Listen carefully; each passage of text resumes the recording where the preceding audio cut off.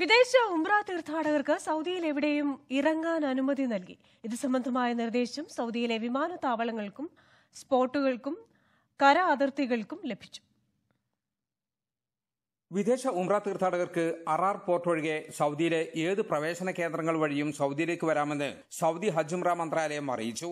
വിമാനമാർഗമോ കപ്പൽ മാർഗമോ റോഡ് മാർഗമോ ഉംറ നിർവഹിക്കാനെത്തുന്നവർക്ക് രാജ്യത്ത് എവിടെയും ഇറങ്ങാം.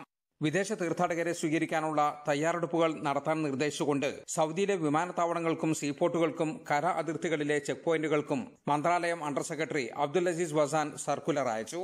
കോവിഡ് പ്രോട്ടോകോൾ പാലിക്കുന്നത് ഉൾപ്പെടെയുള്ള എല്ലാ സുരക്ഷാ മാർഗങ്ങളും സ്വീകരിക്കണമെന്ന് മന്ത്രാലയം നിർദ്ദേശം നൽകി. ജിദ്ദ മദീന വിമാനത്താവളങ്ങൾ വഴിയാണ് നിലവിൽ ഹജ്ജുമ്ര തീർത്ഥാടകരിൽ കൂടുതലും ഇപ്പോൾ സൗദിയിലെത്തുന്നത്.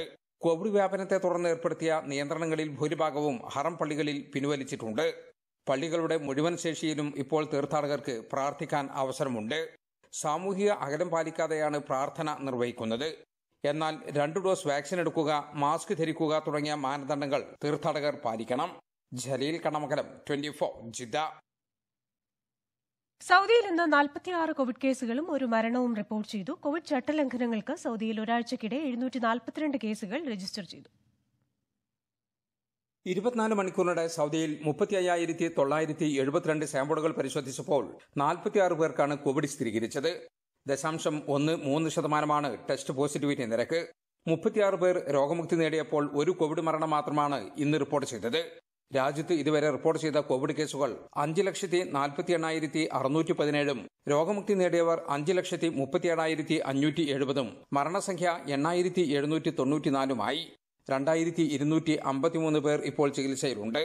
ഇതിൽ അറുപത്തിയൊന്ന് പേർ തീവ്രപരിചരണ വിഭാഗത്തിലാണ്.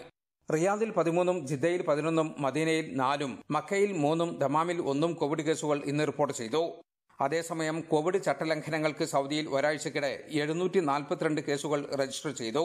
റിയാദിൽ ഇരുന്നൂറ്റി എഴുപതും മക്കയിൽ ഇരുന്നൂറ്റി എട്ടും മദീനയിൽ എൺപതും കിഴക്കൻ പ്രവിശ്യയിൽ അറുപത്തിയഞ്ചും ഹായിലിൽ അമ്പത്തിയഞ്ചും തബൂക്കിൽ നാൽപ്പതും കേസുകളാണ് രജിസ്റ്റർ ചെയ്തത്.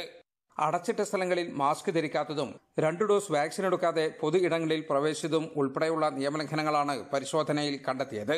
വാക്സിൻ എടുക്കാത്തവർക്ക് പ്രവേശനം നൽകിയ സ്ഥാപനങ്ങൾക്കെതിരെയും നടപടി സ്വീകരിച്ചു.